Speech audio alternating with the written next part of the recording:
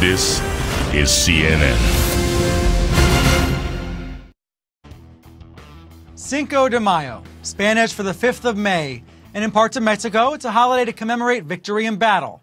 But this year, it was an ugly reminder that in the war against stereotyping, well, that war is still being waged. Take a look at MSNBC's coverage that morning. Happy Cinco de Mayo. Let me just take a shot here to get the thing started, oh, lordy, you know? Lordy, lordy. Mm. Ole. There you go. You got your go-go juice. That's it. The 5th of May celebrating Mexican heritage and pride, and it commemorates the Mexican army over the French forces in the Battle of Puebla back in 1862. It's also an excuse to drink tequila on a Monday morning at work for Lewis. Unfortunately, Lara Spencer over at Good Morning America wasn't much better. This holiday is also known as Cinco de Drinko.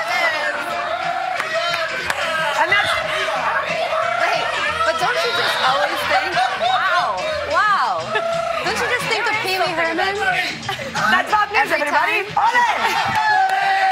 Ole! It's a cute hat, but come on. Latinos are a diverse group, but together they are the largest minority group in the United States, representing about 17% of the population. But has that translated into media clout? Joining me now from Miami is Maria Elena Salinas, co anchor of Univision's flagship newscast. Thank you for joining me. Nice to be with you, Brian. Those two clips I just showed, especially the MSNBC one, you know, got a lot of attention on the internet. They were circulated widely. Tell me how you reacted when you saw those clips. Well, actually, you know, I don't particularly think that it's insulting, but it does show a lack of understanding of this so-called holiday, if you can call it a holiday, and mm. the lack of understanding of Mexican culture. Uh, you know, it was interesting that they finally got it right, that it's not Mexican Independence Day. It is the day that they celebrate the triumph of the ill equipped Mexican army over the French army in the city of Puebla. But this is not celebrated in all of Mexico. It's only celebrated in the city of Puebla. But, you know, once mm. you hmm. get into wearing the hat, and once you get into drinking, then I think it portrays what Cinco de Mayo has become, which is an American holiday with Americans drinking and portraying Mexicans as they perceive them. Lara Spencer then apologized on Twitter, and MSNBC apologized on air. Uh, were you struck by those apologies? Did they go far enough? No, you know, I think so. I don't think they meant any harm. I really don't think that the purpose of, of doing this was uh, to insult. But if, you, as a journalist, you want to be accurate, then you have to be completely accurate. Um, let's uh, not only with the holiday and the date of the holiday, but first of all, you perpetuate the stereotype of that picture of the Mexican taking a siesta under a tree wearing a sombrero. And that is not necessarily what Mexicans are all about. Let me read from the president of the, the National Association of Hispanic Journalists uh, that you just mentioned, uh, a letter that he wrote on Wednesday.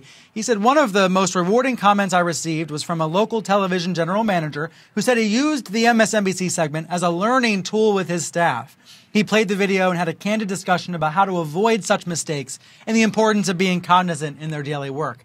Ultimately, that's why these things matter. I think it's it's a learning tool, not just for the staffers that he was describing in that letter, but also maybe for viewers at home. Exactly, and you know that I think that one was particularly delicate, especially when you say, "Let's start off the morning at seven o'clock drinking a tequila with a hat." In other words, the message there could be this is what Mexicans do on a holiday like this. They take a shot of tequila early in the morning. I'm curious about how you and your colleagues at Univision cover other issues that involve uh, race or ethnicity. There's been so much attention lately around racial issues in the media, the Cliven Bundy story, then the Donald Sterling story. Have you all got, given a lot of attention to the Donald Sterling uh, scandal, for example? Well, we have. Uh, first of all, it, we are when we talk about racism, we talk about racism across the board, not only against Hispanics, but also in this case against African Americans. And in the Sterling case, there was uh, a touch of, of also um, discrimination against Latinos. As we know, he had been fined before as a landlord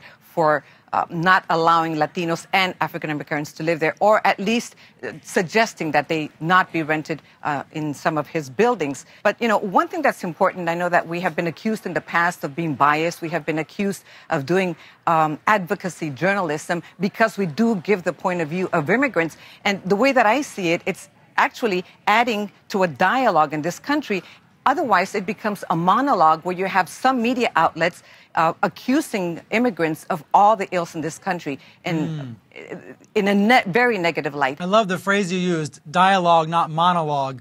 Maria Elena, thank you so much for joining me. Thank you. It's my pleasure, Brian.